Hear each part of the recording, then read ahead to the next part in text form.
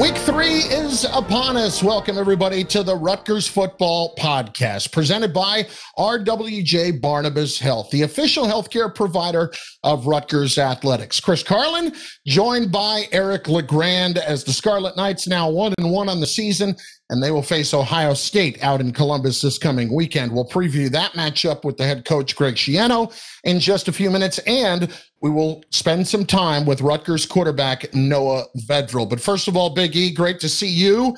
Your big takeaways from this past Saturday against Indiana. Uh, I would say the first thing was this team fights, Chris.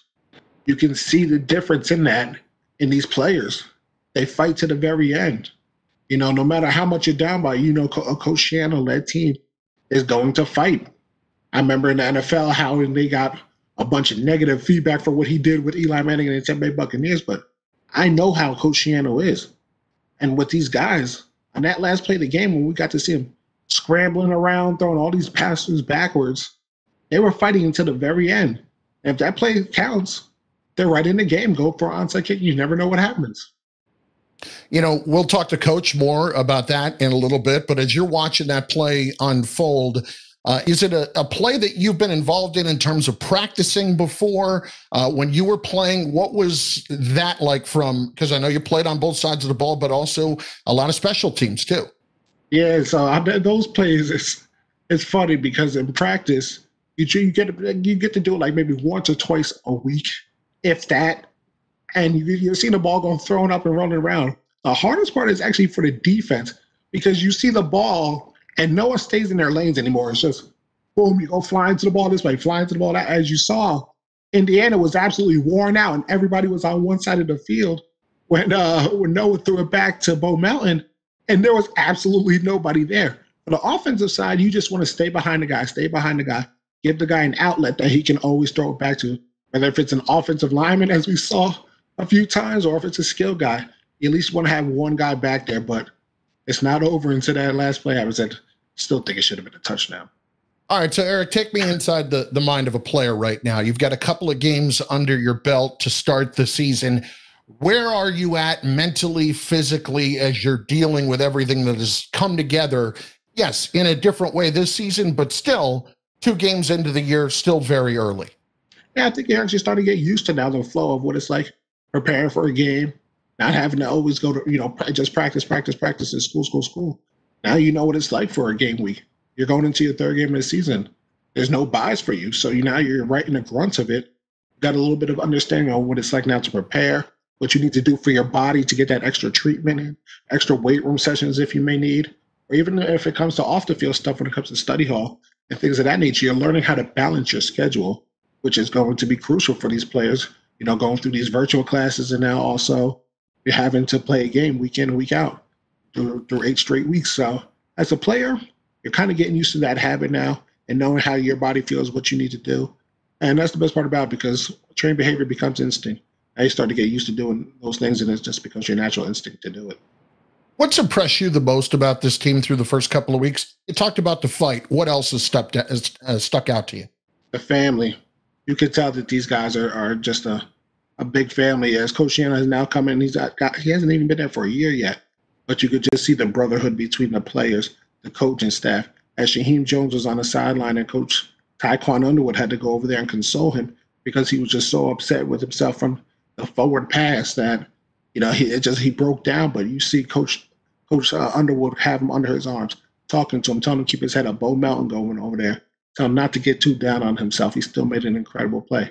Things like that. It just goes to show you because sometimes you'll see sidelines on TV You'll see a person isolated by himself or throwing helmets on the sideline. No, you don't see that. You see guys that are there to help each other through the good and through the bad. That's when you know you really have a true family bond. Eric, we saw that with Tiquan, uh, and I have to, I need to get used to saying Coach Underwood. I saw that. You see, I say Coach Tiquan Underwood. well, we saw his arm around Shameen, and Bo Melton this week really credited him with the the fact that he has been very productive here through the first couple of weeks of the year. Tiquan Underwood, from a personality standpoint, what is going to make him a good coach? Coach Coach Underwood is the ultimate personality. You know, he's such a great guy, a good dude, and he he has confidence in himself. And I know it goes into his coaching technique. He has, you know, you know, you get wide receivers, you get to hear, oh yeah, they're so arrogant, this and that. Now, Tiquan does it in a little swaggy way. It's funny. it's like he's like he's not very, you know, blatant with it and very blunt. No, he does his attitude just with, with the way he reacts, how he lifts up his guys, and how you can tell that the players love to play for him. One, because they know where he has been through the program and into the NFL. But two, the way that he goes about developing his relationships with those guys. You'll see them score a touchdown. I bet you see Coach Under was going to be one of the first ones in the end zone, chest bumping you and motivating you and getting you excited. And that's the energy that they need, and that's the confidence that they need, especially over from the past few years where they they had some, you know, a lot of down days and maybe not so much confidence. Now you're starting to see that in them. It's allowing them to go out there and play freely. And at the same time, you've been in the position of the recruit before, and you're watching the early success or the early energy that this team has had through a couple of games take me inside the mind of the recruit right now and being encouraged by what you see and seeing the early positive effects Coach Schiano's return is having. Oh, you can. It's just night and day. I think the difference between where the program was at where it is now and where it's going to go. You can just tell that by the way that the players are playing out there. I'm sure these coaches are developing relationships, and can't imagine how many text messages or phone calls are made, and you know, in a week between the coaches and the players is whatever you can do because you want to develop that relationship with these people. You want to know that they care. If they're recruiting you, you know that they care for you. They believe that you could be a great football player, but an even better person. And the recruits have to open their eyes and realize that. And I think they're starting to see it because it's different when you have, you know, a little quick two to five minute call with a coach, little pitch sale. But when you're on the call with 15, 20, 25 minutes with these recruits, it really goes to show you it's not just about me as the football player they want to know about more of my personality. And I know that's what these coaches are doing. Well, in just a few minutes, we'll visit with Rutgers head coach Greg Schiano. And a little bit later on, Noah Vedral, Rutgers' new quarterback, will join us as well as we'll talk about his growing up in a football family. And we'll also preview the matchup with Ohio State in just a bit. Just getting started on week three of the Rutgers Football Podcast. It's presented by RWJ Barnabas Health, the official healthcare provider of Rutgers Athletics. We return to week three of the Rutgers football podcast with the head coach, Greg Schiano, as the Scarlet Knights prepare for Ohio State this weekend. And, coach, just a brief recap of this past week against Indiana. And, boy, I, I'll tell you, down the stretch of that game, the one thing that you had to be thrilled about was just the continued fight of your football team uh, and not letting any inch of it go at any point. Well, I was I was pleased with that, Chris. But I got to tell you, that's what I expect from them. Um, that's what we that's what we preach. That's what Chop is about. They've worked awfully hard. Um, I wish that we could have coached better, and I wish that we could have played better, because that was a winnable game. You know, we we the same way we won the game the week before is the way we lost it this week. We turned the ball over uh, in in a, in a very in some bad spots, and they had some short fields, and but they won. They you know I, I don't like when people say, oh we we lost you know we we shot ourselves in the foot. No, we didn't. They they took the gun and pointed at our foot, right? So they made that happen, and we we we weren't able to stop it. So that's where I am today. Is that one's behind us? We can't change it, but we're getting ready for a very good Ohio State team, and we we need to really lock in. Coach, just one more about the game the other day, the bizarre play at the end. After you saw it and as it's unfolding, I know you talked about how you practice that kind of a play, but you never know how that's going to play out. What uh, kind of jumped out to you about the play itself? Well, I think our guys really took coaching very well. You know, one of the rules on that play is you never go down with the ball. Like, what's what's who cares if you lose by, you know, a loss is a loss. I really don't get into uh, we lost by this many points or that many points. We're trying to win the game, and um, if you go down with the ball, you know one thing: you lost. So they did a great job, and and um, you know what Raekwon did is really taking coaching. Right, he threw it up as high as he could to give our guys chance to get under it. Um, there is no other than the beginning of the play. There's not a set pattern per se. Uh, once it starts to go crazy, then it's just hopefully what happens happens. And, and literally it was inches right? Inches. And some would say that it wasn't. Some would say that it was illegal. So a, a legal pass. I don't know. Nor do i waste time worrying about it. You know a lot of times in my early years i used to you know make these intricate tapes and send them in. I don't waste a minute on that. It was called so it was an illegal forward pass. Regardless if it was or it wasn't it was called. That's it. You know you don't get do-overs. So um, we have instant replay they ruled it a forward pass move on As they responded in practice on Monday, what did you see from your team from an energy standpoint, ready to get back to work? Oh, they were great. And I'll tell you, they were sore. That was a very physical game, as you could tell by watching it. And as a football player, you get into routines, right? So Sunday is a day where we go out, we, we do certain things to help with the soreness, and then we go out and practice, which really is probably the best thing you can do for the soreness. And then Mondays is an off day. And players get caught up on everything they need to do in real life as well as get their bodies feeling better. Well, we practiced on Monday. So I knew that they'd be feeling sore and stiff, but they came out with great energy and we had a great practice. So that that's not a given, right? That's when you when you change up the routine, um, you never quite know how they're going to respond. And and I thought they responded very well. Today is their off day, and then tomorrow we'll get back at it. Yeah, Coach, I was thinking about this the other day, and I think when one thing that I've heard from a lot of your former players, um, how they've been prepared for life off the field is the time management thing. And I'm wondering how that may have, uh, through the first couple of months of dealing not just with football, but with school as well, helped ease them into their time management. Has that played a role at all in in just giving them a chance to kind of get a little bit more used to it before you got into the meat of the season? It may have, Chris, but in this year, I don't know what's what. You know, I'm just being real. It's just, I woke up this morning and I just laid there for a minute and thought about like seasons off, seasons on, like all the stuff that these kids have just chopped through. You know, I'm, I don't know even you know, have we done as good a job of teaching this group time management as we did all our other teams? Probably not because we're so busy fighting coronavirus and so busy, you know, guys are here at 5:40 in the morning to get tested so we can have our regular football meetings and do everything that we do. Like it's just so unusual. And I, I really do. I tip my hat to our players because they're putting forth such a great effort just to be able to play, just to get to practice. Um, and that's the world we're in right now. And uh, I, I, do. I, I, think it's it's honorable the way they're working. I, I really um, have been fascinated by the comment you've made a couple of times now in reference to when coaches come into new situations and they have players who they didn't recruit, but they oftentimes you get an idea kind of behind the scenes of wait till we get our guys here. But you have been staunch in talking about how every player that has been here since you got here and stayed here and chose this are your guys. Can you expand just on that mentality a little bit? And I guess how you have to, as a coach, um, really build up some equity with them early and and they understand that.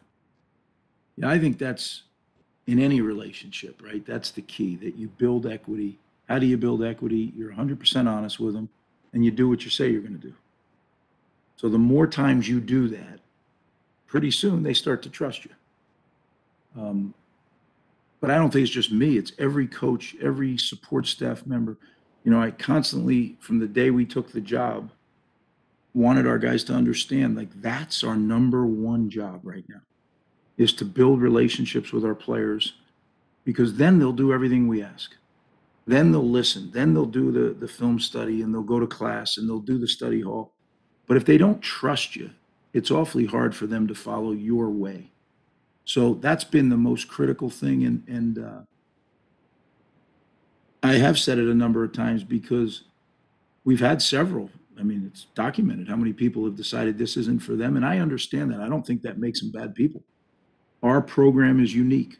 Um, academically, the there's zero, you know, there's certain things that I am very, very loose with. I don't care. You know, you do whatever you want to do. But then there's other things that there's zero tolerance for anything but what we say. And I make it very clear to the guys, and I do that. I did that from the very first meeting because I didn't want anybody to be tricked into staying. I don't care if they're a great player. Doesn't matter. We're building something here for the long game. But it doesn't mean that as you build something, you can't have a series of one game seasons where you're just trying to win the season, that one season. And, you know, I mentioned it this week because I mentioned it to our team. Literally, when you lose a game, there's like a mourning that goes on. You know, you put so much of yourself into this week of preparation and then it doesn't pay off in a win, that hurts. It hurts players, it hurts coaches, but you got to get over it because the next one's coming. And so you have Sunday to kind of work through it. And, you know, we used to call it the 24 hour rule. I, I really don't talk about that anymore. I just tell them, you know, there's a freight train coming down the track and you better get your speed ready because we're going to collide. And if you're if you're not gathering speed, right, you know, I give them Sunday. But by the time we hit the practice field on Sunday evening or Sunday afternoon, we need to be we need to be moving forward and that's why we do it to get that one behind and that's why i really didn't like this week because we couldn't go out and practice sunday because we were going to go out monday so again i thought monday they did it monday morning as a matter of fact we're a morning practice team so this really hurts morning practice teams more than anybody because you know if you're an afternoon practice team you had till monday three four o'clock to get your game plan finished you know, our game plan had to be done sunday night before we left here which but honestly, a lot of people didn't leave here to get it ready in time. Um, and I don't like that. I think guys need to go home. I think they need to sleep in their bed. But, you know, drastic, drastic times, you got to do that stuff. We'll have more with Coach. Get your questions for him in just a moment when we return. This is the Rutgers Football Podcast presented by RWJ Barnabas Health, official healthcare provider of Rutgers Athletics. Time for your questions for Coach Schiano. We can take them every week via Twitter with the hashtag Our Football Podcast. First one this week, Coach, comes from uh, Steve, who wants to know after two weeks into the season, biggest key areas of emphasis you're getting across to the team as you move into week three. You know, I, there's so many things. I think the biggest thing is going to be just the continual growth of our culture because that will take care of so many other things. Uh, you know, in our culture, as you know, family trust chop. We just have to continue to live by that. Um, and that's that's every situation. I think you can bring it back to that. And when we when we do a good job of that, I think it connects. The dots connect for the players. And when coaches get too caught up in a step here and an angle here and an elbow level here and forget culture, that's when you get yourself uh, behind the eight ball. So we need to continue to coach all the details, but we need to make sure that at the front of everything is the cultural development of our program. Mark wants to know how you would assess Noah Vedral so far through the first two games. Well, you know, obviously we named him our starter coming out of what is, I guess we call a camp, although it wasn't a camp. Um, we think very highly of Noah. He has a really high football IQ. He learns well. I think he runs the offense uh, well. Unfortunately, he, he got hit a few times as he was throwing Saturday, and it caused for bad outcomes. Uh, hopefully, we can do a little job, better job protecting, and hopefully, he can have that clock in his head going off, that alarm going off. I got to get rid of this thing here. And as we get better, that alarm will be a little later each time. But uh, right now, we got to make sure we get rid of the football. John wants to know about Kay'Ron Adams, who gave you a spark the other day in the run game. Would you rather be a coach who rides one running back, or do you like the idea of the committee more? Riding a running back, mind you, when that back is particularly hot. Well, we're going to ride the back when he's hot. I guarantee you that. I mean, I, I believe in that. But we do certain things schematically that we want different players on the field, and that kind of builds a rest in for guys. Um, I like in the Big Ten Conference having many backs because I think this is a physical big boy league and there's some real hitting that goes on. And when you're a running back, you know, sometimes you don't even know where the shots are coming from, right? I mean, you're running one way and there's people taking blind shots at you. So I think we're blessed to have some good running backs on our team and they, they all practice very hard. So I think we try to get, if they're, uh, if they've earned it, they, we try to get them a role in the game plan. Uh, Steve also wants to know, Coach, uh, different Steve, what's pleased you the most from back in June or July when you got them all together to right now in this team's development? Well, I think the bonds that are being formed please me the most. You know, the the trust, the relationships um, that only going through the fire can create. Right? You can. We as coaches try to create um, adversity. We try to create, you know, some tough situations to help that development exped, you know, expedite that. But the reality is, uh, there's nothing harder than winning a Big Ten football game in athletics. And uh, I think it's like I said many times. I think it's like winning a game in the National Football League. It's hard, and it takes intense focus for three, four hours, and all the preparation that goes into it. And when you do that together, I think certain bonds are formed that you know, otherwise you can't really get, no matter how much you try to create it. All right, Coach, Ohio State this week, and nobody's more familiar with that program than you. Justin Fields, obviously a dynamic player. Give us a scouting report. What do you expect? What you expect from the Buckeyes? Well, you hit it on the head, Chris. They're a dynamic football team. They're, you know, probably the best one, two, or three teams in America. Um, they have really good players at just about every position. Uh, there's really not where you say, oh, they have a weakness here or there. You know, if you watch the game the other night, maybe their place kicking was a little erratic because they've had injuries and what have you. Um, but you know, that's you go pretty far down the list to get to get to that. right? I mean, their O line's outstanding, their D line's outstanding. That's where the game starts. Uh, their quarterback, obviously, tremendous player, maybe the best in America. So I mean, they have really good players, and they're well coached. Coach Day and his staff do a tremendous job. Uh, they have tradition, all the things that go along with being a, a, a, one of the top programs in America. That's what we aspire to right? That's what um, you know. In our own way, we're never going to out Ohio State. Ohio State. We're going to out Rutgers people. That's what we're going to do, and that's what our goal is. And we're going to take bits and pieces from everybody, and but where we'd like our result to end up is what we've said. We want to be uh, the best team in America, and, and or, you know, to be the best, you got to be one of the top five, and then hopefully you get to become that. So we have a long way to go, but this will be a great opportunity for us to go out and swing as hard as we can. See what happens. Prime time Saturday night. Looking forward to it in Columbus. Coach, we'll talk to you next week. Sounds good, Chris. Thank you. Eric rejoins us along with Noah Vedral in moments right here on the Rutgers Football Podcast, presented by RWJ Barnabas Health, the official healthcare provider of Rutgers Athletics. Time to chop it up with the newest Rutgers quarterback, and that is Noah Vedral, who joins us right now. Noah, it's Chris and Eric. We appreciate your time. How you doing? I'm good, guys. How are you? We're doing outstanding. And, you know, Noah, let's first of all just give us your uh, thoughts the first couple of the games of the season for you, how comfortable you are feeling inside the Rutgers program right now. No, um, I think I've said it a couple times before. This place has really kind of been like a newfound home for me. Um, uh, I was talking to you guys a little bit before we got started. This place, um, all I know is this family. Um, so I'm getting to know the guys really well. I mean, we're really the only people we get to see with the COVID thing and trying to keep our personal bubbles intact and stay safe and stay healthy. So um, I'm feeling really comfortable with the guys. Um, the offense, I mean, every day I'm in it, you get more and more comfortable. Every game you get on in that offense, you feel a lot better about things. So um, a lot of things to improve on, um, but a lot of positives too. And what are the, I would say, what are the biggest differences I guess you see going from you know, UCF to Nebraska to Rutgers? So you've been you know, all different places on the map and you different universities. Now, as a veteran, you know, what is it like going through this whole college football process and getting to see different universities and how they operate? It's super, um, super cool. Um, I want to be a coach when I'm done. So um, to kind of have that experience at a couple different places, a little bit of background, some perspective is really cool. Um, for me, maybe down the future when I want to pull things from different places. Um, but I'm super excited about Rutgers. I'm super excited about the plan Coach Schiano has in place, and um, he's got a lot of good stuff in store for us. We just got to keep chopping. Rutgers quarterback Noah Vedral with us. So you want to coach down the line. Fans here haven't really gotten to know him personally, but give us a sense about what it's like to play for Sean Gleeson. What do you love about him?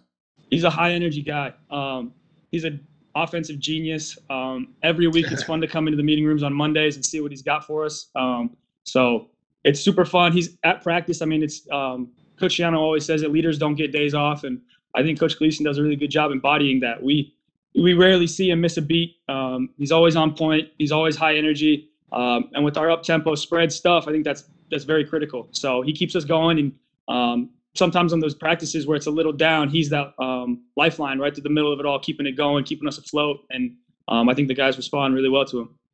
And take us through what it's like developing a relationship and a trust with your wide receivers and running backs in the offseason, especially due with this due to COVID nineteen, not having a lot of time together. But what it was like being able to develop those relationships with those guys, knowing where they're going to be, what type of throws they like, and at the same time is competing for a position with Art Sitkowski. So can you explain what it was like competing for those reps and also developing those relationships? Yeah, no. On on any team that wants to be competitive, um, there's always internal competition. Um, and I think um, what Coach Schiano and Coach Gleeson did um, with our team this year is they kept that competition healthy. Um, on the practice field, things are um, they're tough, they're competitive, they're gritty. but they do a good job when we're in our WebEx meetings in the summer, when we're in our meetings that hey, we're still one unit. you're your position group. One guy succeeds, all guys succeed. One guy fails, all guys fail. so I think that's how across positions we've been able to keep that kind of the unity, that unity of focus, unity of direction, and stuff like that. But um, with the receivers in the offseason, um, we did a lot of extra stuff. Um, with it being a new offense for everybody, um, there was a lot of uh, motivation to get out there um, as many days as we could every weekend, multiple days during the week, um, and get through the installs. with COVID chopping things up and making things super weird and on and off again, there was a lot of chances for us to go through the install multiple times because you weren't really able to progress into your really advanced stuff. So I think um, that trust of the receivers came through those multiple trips to the installs, um, which was actually, um, you could say, a blessing in disguise, but just kind of finding a silver lining in the mess. No, I, I I know we've talked about football families before, but I've never seen one like yours. I mean, you have a father and three uncles, all who played at Nebraska, and you played for your grandfather in high school. Tell me about what it was like growing up in that atmosphere. Um, well, Thanksgiving was a coach's clinic. Um, it was always Thanksgiving in Nebraska is around the time when the state championships are being played and kind of late playoffs. So whoever was still alive, or usually the season would wrap up right before that. So Thanksgiving was always a time for people to come back and tell some stories, um, talk about some crazy things that happened during the high school season. So um, I always think that's one of my things that I don't think people get to experience coming from a football family is that Thanksgiving is like a coach's clinic. I've been sitting in on offensive ideas. I mean, I had three uncles that played at Nebraska along with my dad, and then um, both of my uncles on my mom's side are offensive coaches. One's a head coach, one's an offensive coordinator. Um, so Thanksgiving is is really is like a coach's clinic. There's there's a lot of ideas flying around, a lot of stories. So um, even Christmas, it would carry over all the way to Christmas. We'd still be talking about stuff like that. So um, it's just something you never escaped. Finally, Noah, when you were making your decision, what made Rutgers the right place for you? Um, really, Coach um, was what sold me the most. Um, his culture, his vision, um, the opportunity that this place had in store for um, a team that wanted to work, a team that was willing to put in the hours, and um, I was really super excited for a, an opportunity like this, having multiple years left. Um, I think it would have been tough with one year. I wanted to see um, just how far Coach Schiano can take it. I think I'm going to get a good taste of that, getting a couple years at it. Well, we're looking forward to it. It's been great to see you play so far, and we appreciate the time, Noah. Thanks so much. Good luck on Saturday in Columbus. Thank you, guys. Thanks again. Noah Vedral, Rutgers quarterback, joining us on the Rutgers Football Podcast. When we come back, we'll preview the matchup with the Buckeyes in just moments. Stay with us. This is the Rutgers Football Podcast presented by RWJ Barnabas Health, the official healthcare provider of Rutgers Athletics. And so the Scarlet Knights get ready for Ohio State this coming Saturday evening out in Columbus. Chris Carlin, Eric LeGrand, back on week three of the Rutgers Football Podcast presented by RWJ Barnabas Health, the official healthcare provider of Rutgers Athletics.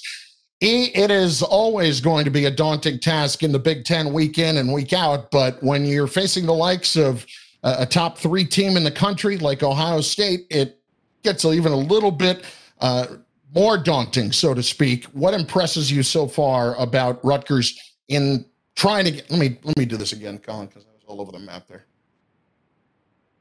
Whenever I tape, I always gotta screw it up. Five. All right. Three, two, one. And so Rutgers facing Ohio State this coming Saturday. This is week three of the Rutgers Football Podcast, presented by RWJ Barnabas Health, official healthcare provider of Rutgers Athletics. Chris Carlin, Eric LeGrand back with you. Eric, when you're getting ready for one of the top teams in the country, what is that mentality like for a football player? Well, as a football player, it's an opportunity, an opportunity to measure where you're at against the amongst the elites, opportunity to have all odds against you and try to fight you out. No one is going to pick you. No one is going to believe in you, but you have the opportunity to go up and upset the world, shock the world. That sometimes being the underdog is a cool situation. Believe me, it's not always you know the you know uh, it's by me. You know we're just going to go out there. We're going to get steamrolled. No, you have to say we're going out there to try to win this game. Obviously, when it comes to Ohio State, they are a different beast. So you have to say pretty much playing a mistake-free game, which is almost impossible to do. But in order to beat a team like Ohio State, you have to be pretty much perfect out there. When you have an athlete like Justin Fields, Eric, and you're a defensive player, uh, the way he can throw the football, the way he can run around, uh, what's the best way to try to prepare for a guy like that or to approach a guy like that? Oh, you have to when it's depending on the position, you know, you know that he can move around. So if I'm the defensive line, I know I have to be contained on the outside and strict with my pass rush lanes, making sure I'm not trying to make a play here. Because as soon as I jump out of my gap and make try to make a play, that's when he is going to expose me. The linebacker situation, you got to make sure you're doing the right reads, whether if it's all those zone that they love to do, the you know the fake zone, whether if it's going to be a play action fake, got to make sure you're covering your guys down the field, and then the defensive backs. Now that's the daunting task, but you got to cover these elite wide receivers that they have. Also, by trying to keep your eyes on him when he starts scrambling around and making sure you're coming up and filling filling in the run game or making sure he's not picking up too many yards. But you also you got to be able to try to blanket covers these guys because as soon as they get one step past you, that's it. Say and, and you see Justin Fields is not shy of trying to push that ball down the field.